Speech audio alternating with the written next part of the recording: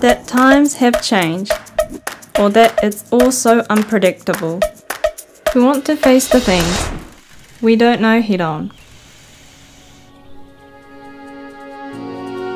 What started with a small step can become a big step with friends. This attitude of trying to learn will be the key to tomorrow's society. Against global warming and climate change. Our actions have become crucial. The world is in need of global leaders towards carbon neutrality with the power of each and every one of us, and with our friends.